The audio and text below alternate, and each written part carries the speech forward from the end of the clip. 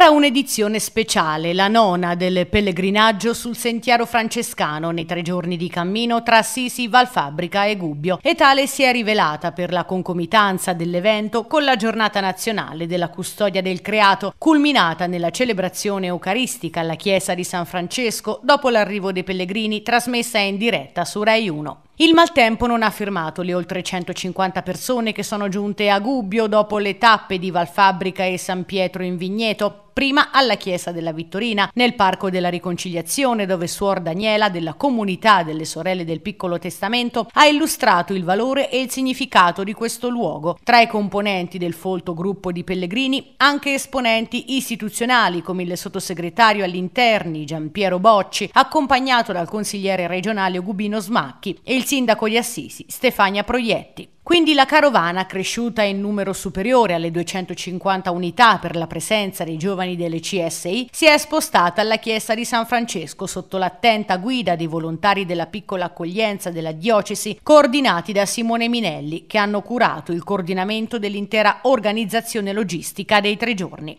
Nella sua omelia Monsignor Ceccobelli ha ricordato come la giornata che celebra la custodia del creato debba ispirare ad un turismo sostenibile, esortando non solo i fedeli ma anche gli uomini responsabili delle sorti dell'umanità a custodire e difendere il creato palesemente in fase di pauroso degrado e depauperamento. Poi ha ricordato come il primo pellegrino sia stato proprio Francesco d'Assisi, probabilmente attratto dalla fama di santità ottenuta da pochi anni dal vescovo Ubaldo e abbia scelto Gubbio come meta per la propria conversione per chiedere la sua mediazione con l'Onnipotente. La celebrazione è stata accompagnata dai canti dei cantores Beati Ubaldi diretti dal maestro Renzo Menichetti e si è chiusa con un pranzo dei pellegrini nel chiostro del convento preceduto da un'applaudita esibizione del gruppo sbandieratori che ha saputo regalare come di consueto una serie di evoluzioni con le bandiere inneggianti simboli delle tavole ugubine e con un numero speciale ispirato all'arrivo del povero poverello a Gubbio, accolto dall'allora vescovo Beato Villano, proprio nel luogo dove oggi sorge la chiesa di San Francesco.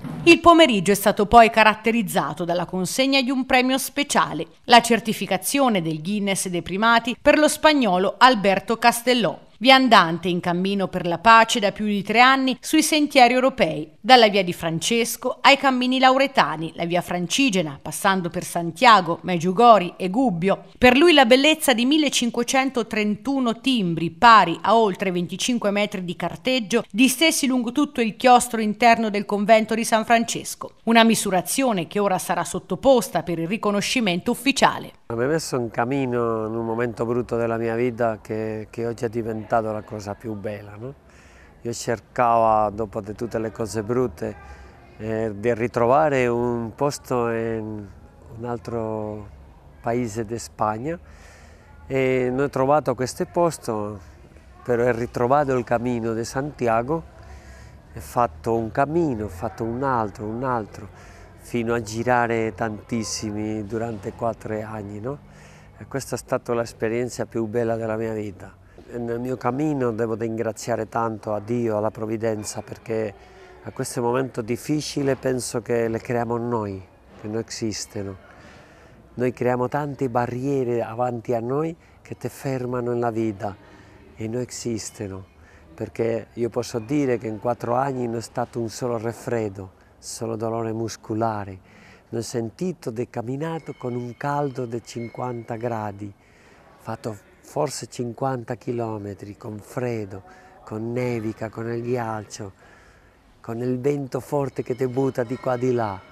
E a quello, noi, a quello la natura. Infine la tre giorni si è chiusa con il convegno organizzato dal MASCI, Movimento Adulti Scout, che ha presentato la guida volume con la presenza del presidente nazionale Sonia Mondin e del vescovo ausiliario di Perugia, Monsignor Paolo Giulietti, introdotti dal presidente regionale del MASCI, Renzo Angeli. Ci sentivamo veramente di non mancare a questo appuntamento in modo anche un po' diverso che è stato quello di presentare un libro eh, a chiusura di quella che è questa bellissima tre giorni dedicata a una riflessione sul creato e che appunto il Movimento Adulto Scout non poteva mancare, un libro che è stato scritto dalle comunità umbre eh, del Masci Umbria, appunto sui benedettini Umbria, natura e spiritualità.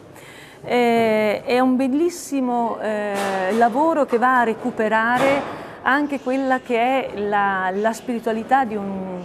grande santo, oltre appunto San Francesco, che è San eh, Benedetto. È suddiviso in, in, queste due parti, la prima parte che va a recuperare quelli che sono appunto eh, i luoghi eh, benedettini del, di questa terra e la seconda parte appunto eh, sono le esperienze. Nel corso dell'incontro è intervenuto anche il consigliere regionale Claudio Ricci che apprezzando il lavoro svolto ha preannunciato che lo utilizzerà per rafforzare la candidatura dei siti benedettini umbri ben 250 a rete tutelata dall'UNESCO.